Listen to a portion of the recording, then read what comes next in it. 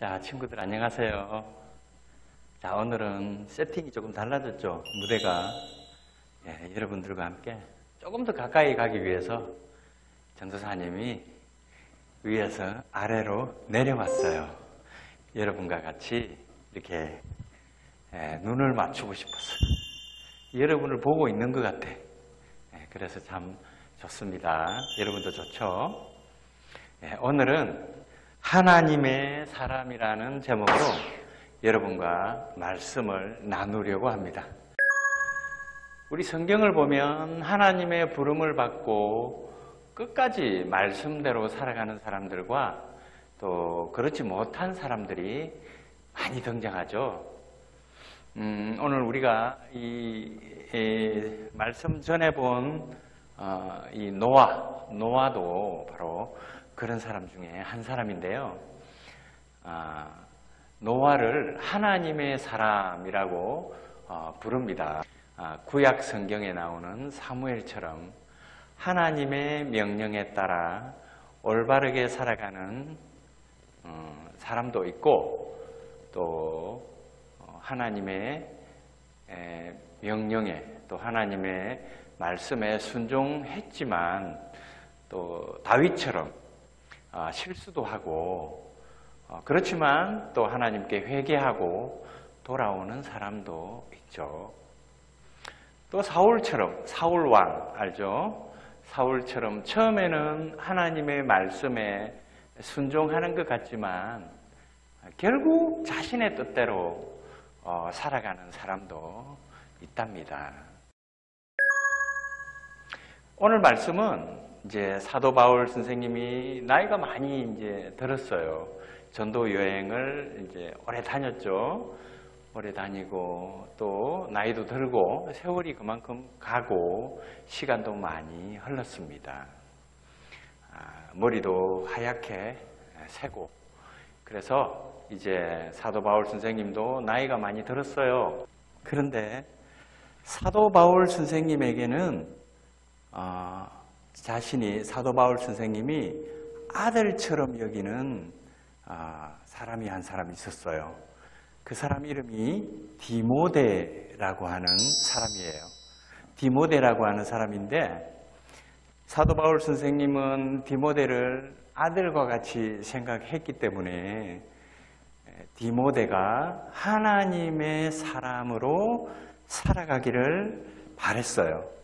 그래서 그런 마음을 가지고 편지를 한 장 썼답니다. 그 편지가 바로 오늘 우리가 읽은 디모데 전서예요. 이 편지가 사도 바울 선생님이 아들같이 생각하는 디모데에게 보낸 편지예요. 우리 친구들에게 별명이 있습니까? 혹시? 별명이 있죠? 자, 누구에게나 다 별명이 있습니다. 전도사님은 어렸을 때 어떤 별명이었을까요? 네? 아, 그래요. 자, 전도사님의 별명은 뭐였냐면, 빡빡이였어요. 왜 빡빡이였냐면, 머리를 빡빡 밀고 학교를 다녔거든요. 그래서 친구들은 내 머리카락을 빡빡 밀었다고 그래서 빡빡이라고 별명을 붙여주었어요. 오늘 우리가 배우려고 하는 이 디모데에게도 별명이 하나 있었답니다. 그 별명이 뭐냐면 바로 하나님의 사람이라고 하는 별명이었어요. 하나님의 사람이라고 하는 별명 아무에게나 붙일 수는 없겠죠. 구약 성경에 나오는 모세, 또 엘리야, 또 우리 뒤에서 얘기하겠지만 사무엘, 또 다윗과 같은 이스라엘의 위대한 지도자들에게 사용하던 별명이었어요.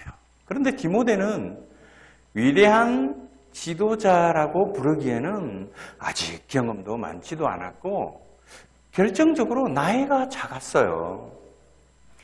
어디에 그 얘기가 있냐면 디모데전서 4장 12절 말씀에 있습니다. 4장 12절 말씀 볼까요? 자, 우리 성경책 친구들 지금 앞에 펼쳐놨죠. 4장 12절을 한번 펼쳐보겠습니다. 4장 12절. 같이 한번 읽을까요? 큰 소리로. 시작. 누구든지 내 연소함을 업신여기지 못하게 하고 오직 말과 행실과 사랑과 믿음과 정절에 있어서 믿는 자에게 본이 되어라. 아멘.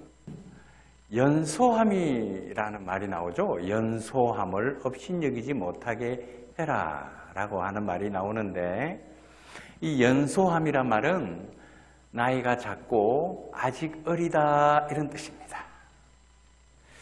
그런데 바울은 왜 이런 디모데를 구약 성경에 나오는 위대한 이스라엘 지도자들과 같이 하나님의 사람이라고 불렀을까요?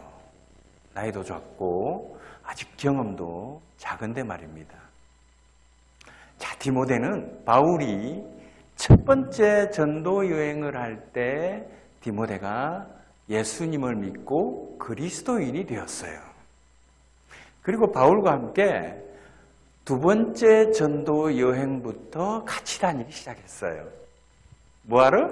당연히 예수님의 말씀, 복음을 전하기 위해서 같이 다녔겠죠. 로마 감옥에 갇혀 있던 바울은 우리 앞에서 우리 배웠죠? 어, 에베소서, 빌립보서, 어, 골로새서에서 우리 배웠잖아요. 로마 감옥에 바울이 갇혔는데 가택연금도 당했죠. 2년 만에 그렇게 해서 풀려납니다. 바울은 그가 이제 꿈을 꾼 대로 저 땅끝 스바나, 스바나가 어디라고 그랬죠? 지금 스페인, 스페인으로 전도 여행을 떠났어요. 바울은 그 땅끝, 그, 그 당시에는 이 지구의 땅끝이 스페인이라고 생각했어요. 그래서 땅끝까지 가겠다. 스페인까지 가야 한다. 예수님의 복음을 들고. 그래서 바울은 그 꿈을 실현시키기 위해서 이제 스바나, 스페인으로 전도 여행을 떠난 거예요. 근데 이때 디모데가 바울과 함께 가지 않았습니다. 바울 선생님은 디모데를 그냥 에베소에 남겨두고 에베소의 교회에서 말씀을 전하고 에베소 교회를 돌보아라 이렇게 맡겨두고 떠났어요. 늘 디모데하고 바울 선생님이 같이 전도 여행을 다녔는데 이번에는 에베소에 그냥 남겨뒀어요. 왜 그랬을까요? 그 이유가 있어요. 디모데가 에베소 교회 성도들에게 말씀을 전하고 교회를 돌보게 하기 위해서 그랬던 거예요.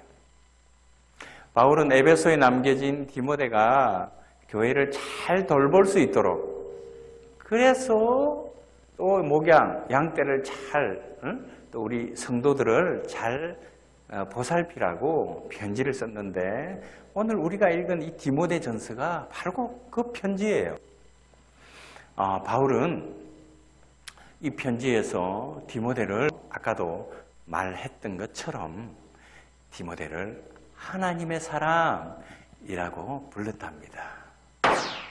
바울은 디모데가 성경에 나오는 이스라엘의 위대한 선지자와 지도자들, 믿음의 인물인 노아와 모세와 사무엘과 다윗과 엘리야처럼 훌륭한 믿음의 인물이 되어가고 있다고 생각했어요. 또 훌륭한 믿음의 지도자가 되어서 에베소 교회를 잘 돌볼 것이라는 믿음을 가지고 있었기 때문에 디모데를 자신이 자식같이 아들같이 생각하는 디모데를 그렇게 하나님의 사람이라고 불렀던 겁니다. 이스라엘을 이집트로부터 이끌어낸 위대한 지도자가 누구였죠? 음, 그렇지. 모세였어요. 그리고 또 있어요. 또 위대한 지도자가 아까도 얘기했지만 사무엘이 있었어요. 어려서부터 하나님의 성전에서 살았어요. 그리고 이스라엘의 가장 위대한 왕 하면 누가 떠오를까요? 다윗이죠. 다윗은 하나님을 향한 찬양을 굉장히 많이 시를 지었어요. 그리고 엘리야는 죽지 않고 하나님의 하나님께로 올라간 선지자였어요. 이런 굉장한 믿음의 사람들에게 쓰인 표현이 하나님의 사람이라는 표현이에요. 그러니 이런 별명을 자기의 별명으로 붙였다는 것은 아, 바울이 디모데를 어떻게 생각했는지 알 수 있잖아요. 그죠? 그리고 의와 경건과 믿음과 사랑과 인내와 온유를 따라서 살아야 한다 라고 편지에 그렇게 디모데에게 말했어요. 하나님의 사람이라면 말씀을 따르는 올바른 삶, 하나님께서 기뻐하시는 삶을 살아야 한다. 이렇게 자식같이 여기는 디모데에게 편지에다가 그렇게 쓴 거예요. 그런데 편지에 또 이런 말도 썼어요. 믿음의 선한 싸움을 싸워라. 이렇게 당부합니다. 아니, 싸움을 하라고요? 목사님이 싸움을 하라고 시키네. 오호? 싸움은 나쁜 건데. 그죠? 왜 싸움을 하라고 하지? 이유가 있어요. 디모데가 에베소 교회에서 목회를 할때 교회 안에 막 거짓말로 교회를 어지럽게 하는 사람들이 있었어요. 이 사람들은 성도들의 믿음을 올바른 방향으로 끌고 가야 되는데, 인도해야 되는데, 잘못된 방향으로 이끌어 갔어요. 그래서 성도들의 믿음을 막 흔들었어요. 응? 교회에 잘 다니고 있는 사람들한테 말씀을 잘못 가르친 거예요. 그래서 바울은 그런 소식을 에베소 교회에서 그런 일이 있다는 소식을 듣고 야 이거 큰일 났구나. 에베소 교회의 디모데에게 이 상황을 잘 헤쳐나갈 수 있도록 편지를 써야겠구나. 이렇게 해서 편지를 썼는데 의와 경건과 믿음과 사랑과 인내와 온유를 따라서 지금 이 어려운 상황을 잘 헤쳐나가세요 하고 편지를 쓴 거예요. 바울은 나이도 어리고 아직 경험도 작고 어, 몸도 건강하지 않은 디모데가 이 믿음의 인물들처럼 에베소 교회 성도들을 이끌어 나가기를 참 바랬어요. 또 아까도 말했지만 이스라엘의 그 위대한 지도자들처럼 디모데도 충분히 그런 지도자가 될 수 있다고 강력하게 강하게 바울 선생님은 디모데를 믿었습니다. 그래서 바울은 디모데에게 선한 싸움을 싸워라 이렇게 말했던 거예요. 마치 운동선수가 경기에서 이기기 위해 최선을 다하는 것처럼 말입니다. 디모데전서 6장 11절 12절을 우리 다시 한번 읽어볼까요? 자, 같이 큰 소리로 함께 읽겠습니다. 오직 너 하나님의 사람아 이것들을 피하고 의와 경건과 믿음과 사랑과 인내와 온유를 따르며 믿음의 선한 싸움을 싸우라. 영생을 취하라. 이를 위하여 내가 부르심을 받았고 많은 정인 앞에서 선한 정언을 하였도다. 아멘.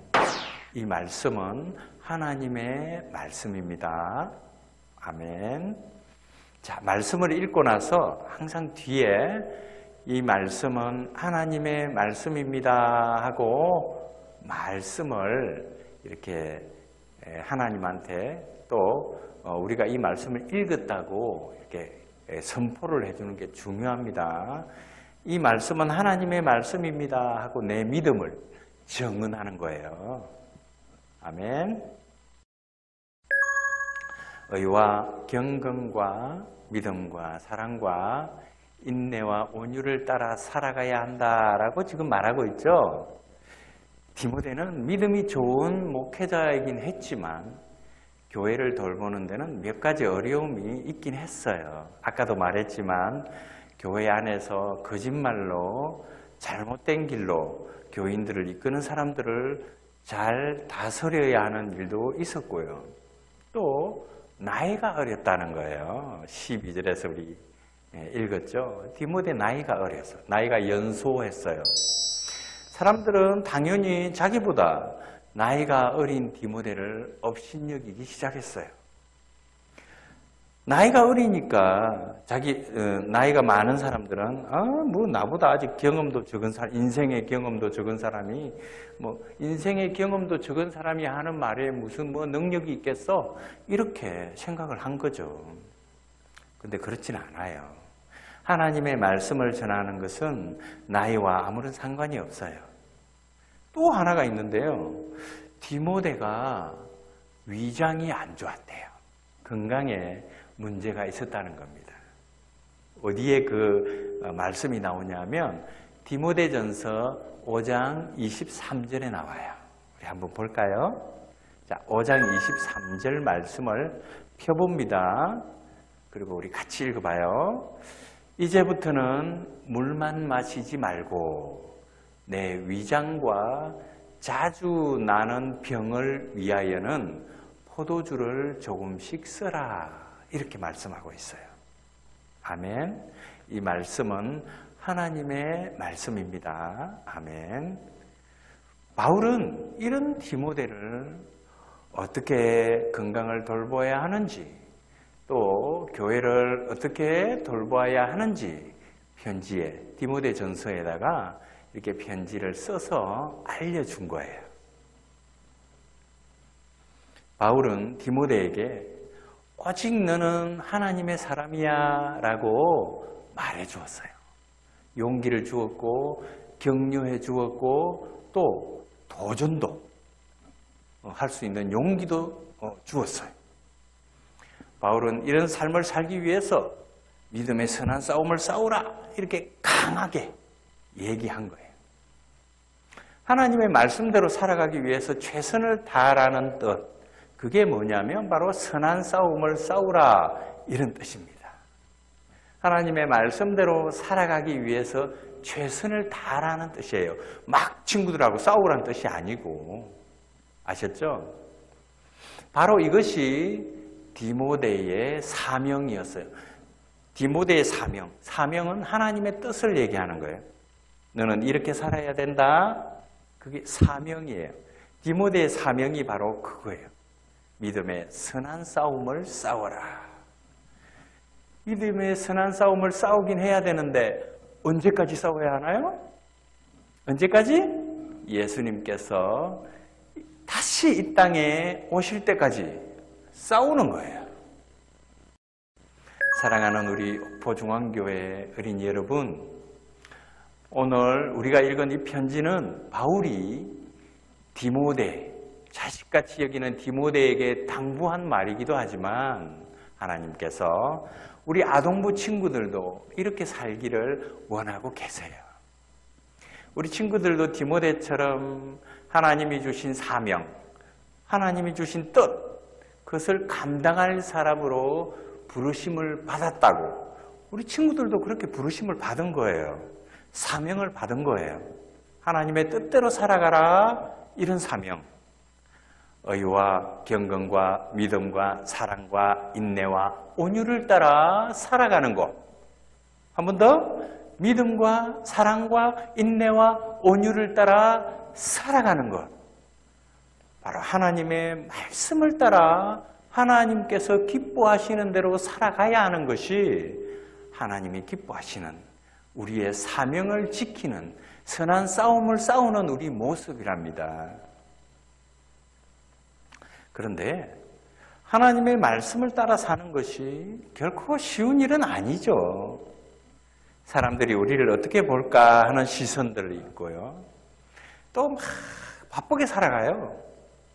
아니면 여러 가지 어려움 때문에 아, 그냥 세상 사람들처럼 우리도 그렇게 살아가고 싶을 때가 많이 있어요. 그렇죠? 친구들? 주일에는 교회 안 가고 예배 안 드리고 놀러 갔으면 하는 마음이 들 때가 많았을 거예요. 하지만 우리는 꼭 기억해야 할 것이 있어요. 우리 모두는 그리스도인으로 하나님의 영광을 드러내는 사람으로 사명을 받았다는 거예요.